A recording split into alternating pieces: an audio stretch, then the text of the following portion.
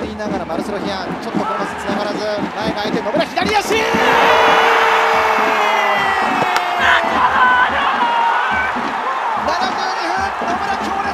涙が溢れて止まらないどんなお気持ちでしょうか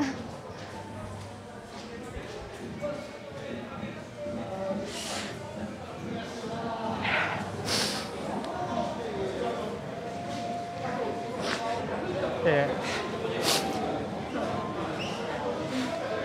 今年もずっと。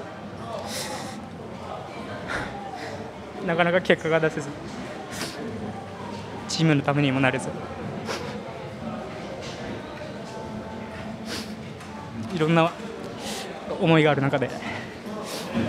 えー、今日途中から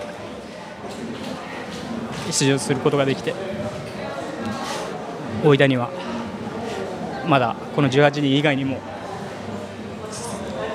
すごい準備をしている選手もいますし、ま